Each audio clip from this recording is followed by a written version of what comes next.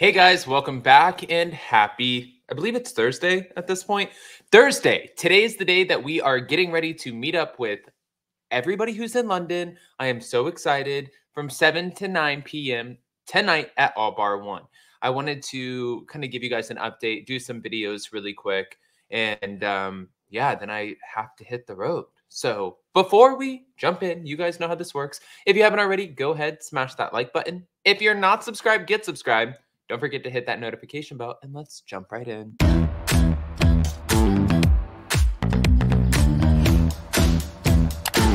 Cause, cause, cause, no one can do it like we do it, like we do it, like we do it. Cause no one can do it like we do it, like we do it, like we do it. Okay, guys. So you know that the holidays are here. It's not even that they're coming, they are here. And I have a gift for you.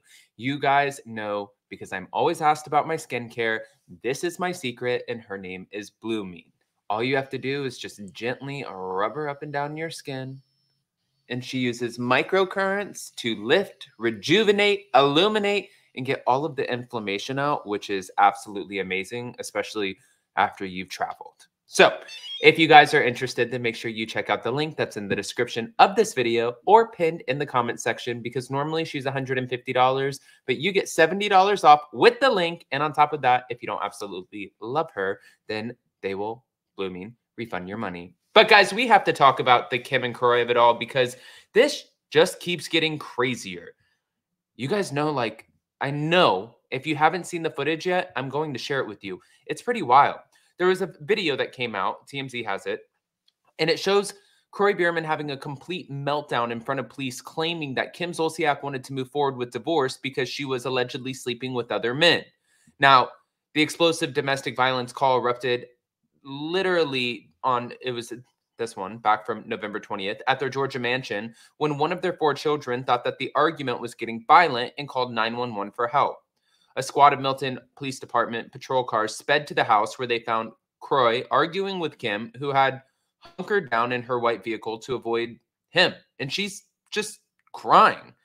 As the officer asked Kroy to step away from Kim to talk privately, he literally went on this whole rant about his wife, saying it's just a bunch of nonsense. He screamed. He called Kim Zolciak a narcissist. All hell literally broke loose, and the officer is calmly asking Kroy about what's going on. He said, Our life, our life, and it's fucking destroyed. That's what he's screaming at the top of his lungs. And then Kroy got more agitated when the officer asked why his life was destroyed. And he said, Because our life is destroyed. What don't you understand? There's no money, there's no house. We're getting a divorce one day, and then we're not the next. He's pissed, pissed, pissed, pissed. She's seeking other men. What do you want? And when the officer asked him to calm down, he flew into another crazy rage. Calm down. I don't have a fucking life. I want to play the videos for you guys because this shit, legitimately, this is wild. Hold on. Here we go.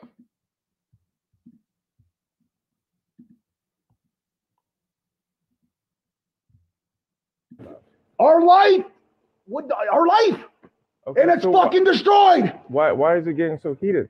Because our life is destroyed. What don't you understand? There's no money. There's no house. She wants. We're we're getting divorced one day and we're not the next. Okay, She's fucking other men. What do you want?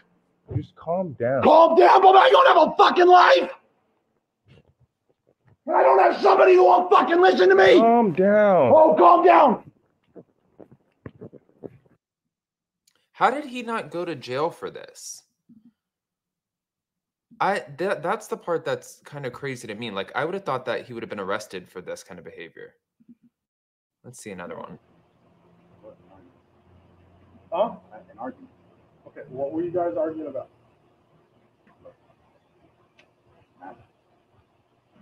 Okay, so what, what entailed in the argument? An argument. Verbal argument. Okay. Were you following her around the house when you guys were arguing? That's how you communicate it to be within earshot of somebody. Yes. Yeah, well, I can be here and be yelling at somebody a hundred feet away. Right. That's why I'm asking. So you were following her around the house while you guys were arguing.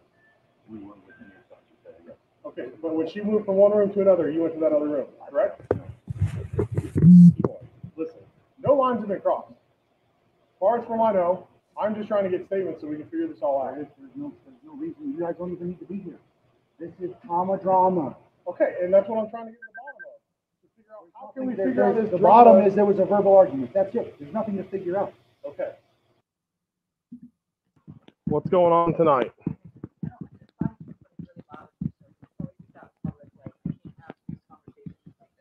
Well, I need to know what's going on because your kid's called, so I need to know what's going on. KJ, I'll call you back, okay? Because I talked to your kids. From what your kids have been saying, you guys have been arguing. No, I, So- I just. I saw you wasn't crying.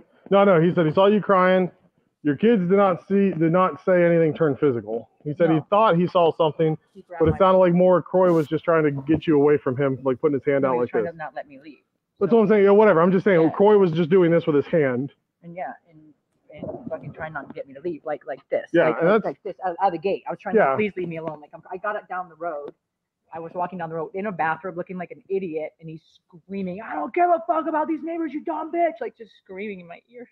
I don't even care. I don't. He doesn't want the divorce. That's the problem. Yeah. And I don't. I can't. do Okay. This is crazy. And the reason I'm saying that this is crazy is because when he's going into this freaking rage, this rage right here, What the- our life, Okay, and it's so wh- fucking destroyed Why, why is it getting so heated? because our life is destroyed. What don't you understand? he's this is scary at this point. And the reason I say it's scary is because I feel like when people feel like there is nothing left to lose, that's when people start to get very alarming in their behavior. And that's when people become unpredictable. And right now, it looks like he's just at this point like, I lost my money. I lost my wife. I don't have any family left. Like, but you have your kids, you have your family. You just don't have your money because you and your wife were really reckless with it.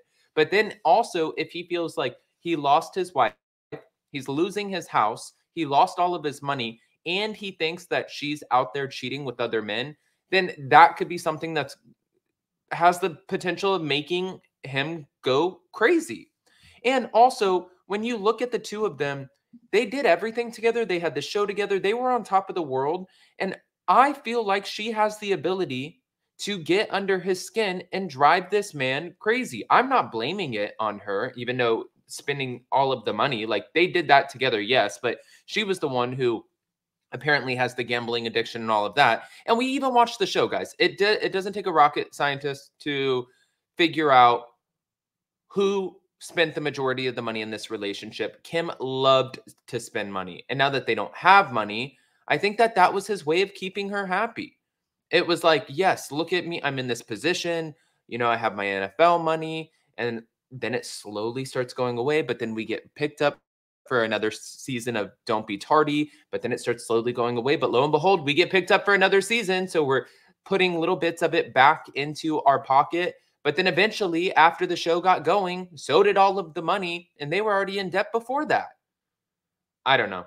I think it's scary. I think it's dangerous. I think that they should have separated a long ass time ago. And I think that it's just who knows what's going to come out of this. This is just not something that I would want to. It's not something that I would want to keep myself in. But guys, I want to hear what your thoughts are. Go ahead and comment below. And before you go, don't forget that tonight, again, I've said it multiple times, from 7 to 9 at All Bar 1, if you guys are in London, then come hang out with us. Make sure you RSVP to ASST at upandadamlive.com. I want to meet everybody. I love you guys, and we'll see you soon. Bye.